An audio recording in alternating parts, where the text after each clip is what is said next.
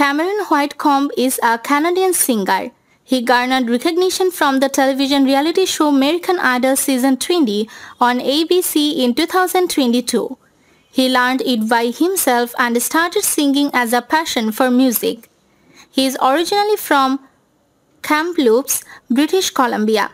He covered Bob Dylan's It Ain't Meat, but the judges remained undecided. He understood the assignment when it came to the American Idol short per round.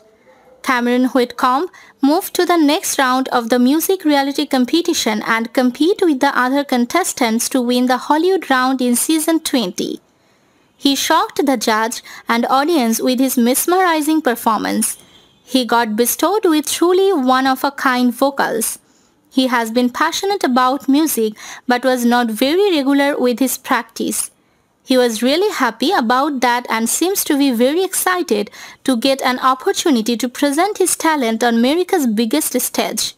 However, in 2020 he went back to the love of his life and there was no turning back this time. He started learning a new musical instrument in November 2021, a guitar and has been practicing to sharpen his skills.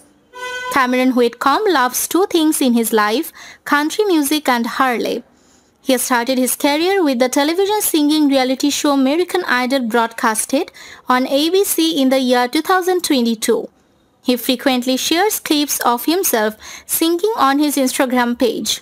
He also appears to be a huge fan of Harley Davidson bikes.